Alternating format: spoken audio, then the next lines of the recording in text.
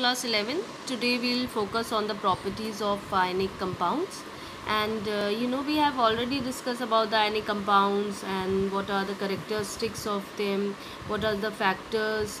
And now we'll focus on the properties. Properties over here we are focusing on both the properties. It's not that key only the physical property but the physical and the chemicals both. So but just now i am mainly focusing on the physical properties of the ionic compounds or the electrovalent compounds. So i have written the properties. The first property is physical state. You know that the physical state means in which state of matter it is coming so if you focus on the physical state then they are always crystalline solid. Crystalline solid you understand you have seen NaCl the common salt which you are using at your home. That is a best example for that. So that way you can understand they are crystalline solids. And uh, second thing is that they are uh, crystalline solid at the room temperature so the room temperature the normal room temperature whatever it has been there 25 or 30 35 this is the normally room temperature which we are focusing. And that uh, case is been it shows that they are in the solid form or the crystalline in nature. So basically you know that for example if it, I, I take NaCl now NaCl if you focus this this is the common salt sodium chloride.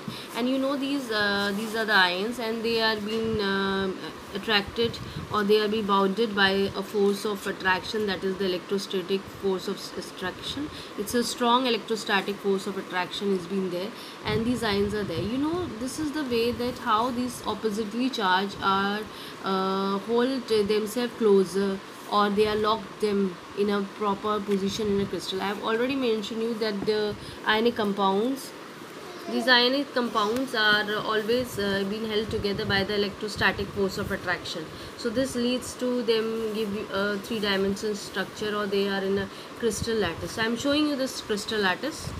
If you focus this NaCl basically this is the crystal form and these they, these are the ions of uh, you can say sodium ions and the Cl ions basically one Na ion is being surrounded by six Cl ions and one Cl ions is also surrounded by uh, six uh, Na ions. So they are octi octahedrally surrounded with each other. Please please don't get confused that octahedral is related to here over here with 8 but uh, 6 is being there. And they the same way with the Cl ions you can see. So this leads to you a crystal lattice and these ions are in the fixed position now we'll focus.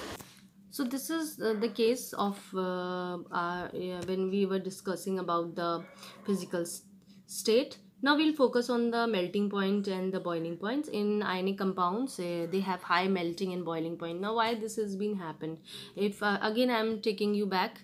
You see this this structure that uh, the oppositely charged are ions are tightly or they are very closely packed together by means of the electrostatic force of attraction and they have a specific position right? And to break them or to remove them from their respective position you need high uh, temperature is been required to overcome that particular force. So so that these ions are removed and uh, you get the respective ions. So that's why we need a high temperature to make them the movements of uh, these ions in the liquids because you know that these NaCl or whatever the ionic compounds are there in solid states they are uh, not at all moving in the in the water or the liquid but uh, when they are in the forms of ion they can free, freely shows the movement. So that is the case why we need a high melting and the boiling points for ionic compounds. Now we'll focus on the other part I said that they are hard and brittle in nature. Hard and brittle is the best example. Like, like for example, you have seen glass in your day-to-day life. Glass is not an ionic compound. It's coming in the covalent compounds. But you should understand what is the word brittle means. So you know that glass, it seems to be hard. It's hard. But when you when it's uh, just slip from your hands, it's break so that is the case of brittle the the ionic compounds also have the same uh, same tendency. Hardness is due to just because of the strong electrostatic force between the ions which we are again and again repeating because uh, they have uh, opposite charge ions they have. So these forces are always uh, making them uh, closely packed together. But uh, the point is that that they are hard or they the point these basically these ions when they if are there in the ionic compounds, they form layers. And these layers are repelling each other ठीक है? जैसे एक layer बनी आपकी, ऐसी दूसरी layer बनी तो ये these two layers are repelling each other and because of that they are ionic compounds और ionic solids are brittle in nature so this thing is clear to you जैसे कैसे लेयर बनाएगी? जैसे for example if you are focusing that in this way ठीक है I am just making it this manner so positive अब basically क्या होता है, जब जब इसमें आप फोर्स अप्लाइड करते हैं तो ये ऑपोजिटली चार्ज होते हैं, भाई ऐसे है, देखा जाए अट्रैक्टेड हैं इन दिस मैनर ठीक है sorry mind this thing it's इसको इस तरह से बनाओ इट्स लाइक दैट ये later on will make it then you will not be confused plus minus plus minus plus, ठीक है? तो ये ऑपोजिटली चार्ज हैं। तो ये अट्रैक्ट करेंगे ऑपोजिट आयंस को। so when the force has been applied or the things has been there then they they become in the this forms so they are start repelling each other तो repelling में क्या हो जाता है कि ये positive positive के साथ आ जाएगा नहीं भाई यहाँ पे तो attraction हो रहा है ना because of the force of electrostatic force of attraction वजह से लेकिन जब ये layers बना लेते हैं then they start repelling each other तो positive comes just next to positive negative come next to negative in this manner तो they are repelling these layers are repelling to them to each other. So they have the cleavage of the crystal has been there. Now the next point uh, come across about the solubility of the water. They are soluble in water this you know. Uh, it's an important factor because there are two terms that is coming over here and it's very new to you. So solubility in water if you come across that you know water if you consider i have already mentioned you that water is dielectric uh, its dielectric constant is high so uh, what happened that these ions are having the electrostatic force. This is what the electrostatic force of attraction electrostatic force of attraction has been there. So what happened ki when you are adding water to it uh, water dal rahe ho water have it's you know it's polar in nature and second thing is the main important point which you have to focus on the water is they have high dielectric constant right? So it has a high dielectric constant has been there. So this particular uh, dielectric constant weakened uh, this electrostatic force of attraction. That's why you get the respective ions. That's why what happened these uh, ionic compounds are very easily soluble in water and uh, they give you ions. But in the organic solvent uh, if you take any of the organic solvent like benzene you are using hexane you are using or some other carbon tetrachloride or whatever they are insoluble or very low soluble. Because basically insoluble rehte because they have a very these organic solvents have low dielectric constant. Water ka kya hai? High dielectric constant. And organic solvents mein kya hai? They have a low dielectric constant. That's why they are unable to break this or weaken this electrostatic force of attraction that is present in the ions or uh, which are held together in a particular compound. So that was the case.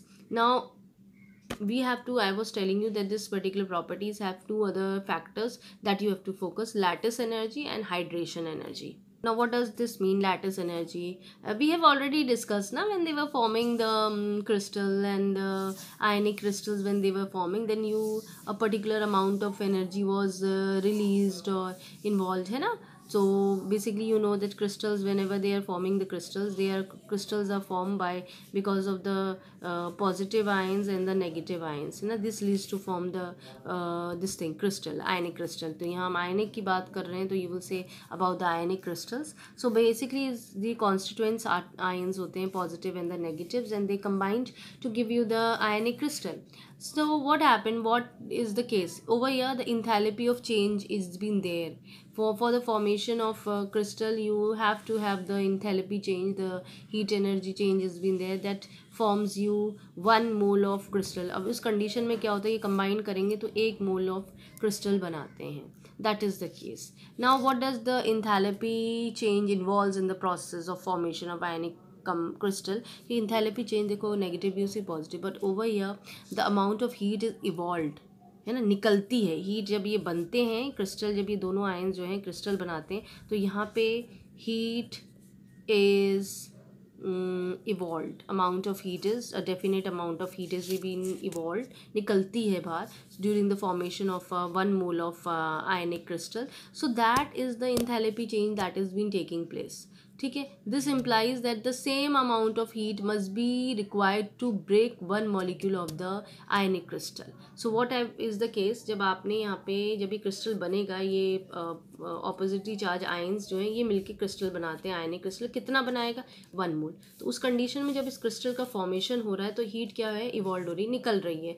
That is the enthalpy changes when there अब वापस अब इस crystal को तुम्हें इसके respective ions में अगर break करना है तो same amount of energy is been required required so that is very important to give you back these constituents ions so what is the case the lattice energy when it is decreases when you're um, with the increase in the ionic size जब ions के size छोटे होंगे uh, मतलब sorry uh, बड़े होंगे तब lattice energy आपकी कम लगेगी तो that is the case which you have to vice versa both the things are the same but uh, in the different manner you have to focus so i think lattice energy is clear to you now we focus on hydration energy now we'll focus on the hydration energy. Hydration energy is also in it's been basically uh, also have the negative value. And it's also an enthalpy change that involve in the hydration of one mole of uh, gaseous ion in the each type of ionic solid. So that is your hydration energy. You need also a definite amount of heat energy is also involved when you are going for the hydration of a gaseous ion and in this also you have to keep it in mind that the size of the ion should be smaller. And then only your hydration energy will be more. So we are getting two types of energies na? Hydration energy is there lattice energy is there. So overall what happen you can have an enthalpy um, uh, this thing change or for the solution that will be the difference of these two energies which you have discussed. So for hydration as well as for lattice this will give you a form. And uh, i'm again telling you this thing may be possibly not clear because you have not yet studied about thermodynamics. So this is uh, maybe a bit complicated to you all what ma'am is saying and but when we'll focus on thermodynamics then you'll get a point of what i'm talking about. So this is the concept of uh, thermodynamics the delta g that is free energy change. It is uh, free energy change has been there so in that case because you're talking about the everything is happening in the solution part. So means we may they are dissolved in the water. So in that case hydration means water. So it dissolve in the water. So they are in that point they are they give you um, a definite amount of energy that is the hydration energy. So uh, this is the we were talking about the free energy change and it's uh, delta h minus t delta s. So this is the basically Gibbs energy and delta g is always most of the time it's negative. So you put it over here in forms of because you're seeing the solution part so everything can be changed in the solution part. So you will change this part also and you'll write down the solution. T and delta s that's also solution. So over here if you since uh, this thing delta is positive delta h is also positive so you show that this particular thing t delta s is a small value because you are having a negative value now you will see there are few things which you can get the uh, from this part. That uh, the point is that time may be come when delta h hydration will be greater. This is less. If it is greater देखो अगर ये ये ज़्यादा है तो hydration mean related हो रहा है कि जो आयनिक कंपाउंड आपने यूज़ करा वो पानी में कितना डिज़ोल्व हो जा रहा है कितना ईजिली डिज़ोल्व हो जा रहा है। तो आपने अगर इसकी वैल्यू ज़्यादा है तो आपको क्या समझ में आएगा कि जो भी आप आयनिक सॉल्ट लोगे it will easily dissolve in the water are you getting my point? If this value is more. But on the other hand when uh, this uh, this value is you can say this is greater and this is less then it will not dissolve ये भी एक point है। कब कब आयने का जो salt होगा आपका या सॉलिड होगा वाटर में डिजॉल्व होगा, जब हाइड्रेशन एनर्जी आपकी ज़्यादा रहेगी। अगर लैटिस एनर्जी ज़्यादा है तो वो वाटर में डिजॉल्व नहीं होगा। वो सॉलिड स्टेट में होगा और it will not dissolve in the water in ordinary condition so these are the points which you have to focus on it कि when it is been there and when it is dissolving when it is not dissolving and this will be very helpful to explain you the how these ionic solids are dissolved in the or एक other word इसका use करते हैं dissolution dissolution of ionic solids in water this thing you have to keep it in mind ठीक है हम अब यहाँ ये नहीं कहते कि ionic solid is soluble in water but this solution of ionic solids in water this term में you have come across now we'll focus on the other properties also. Let's go very fast. Electrical conductivity and stereoisomerism and ionic uh, reaction. Stereoisomerism is related to isomerism and uh, this you have not discussed well we'll study in this year only.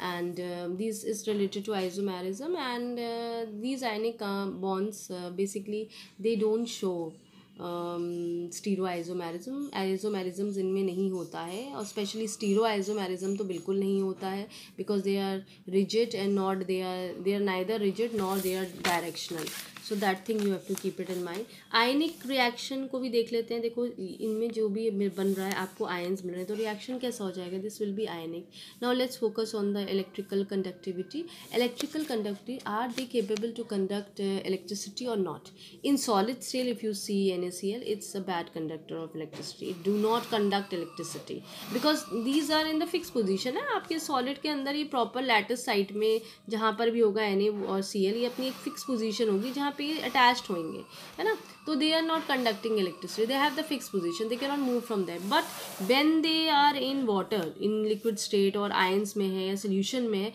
then they are good eh, enough to conduct the electricity. So they are bad conductors in solid states but they are very good conductors when they are in the uh, fused states or when they are dissolved in water or dissolved state or molten state. Those condition may they are good conductors of electricity. That you have to keep it in mind.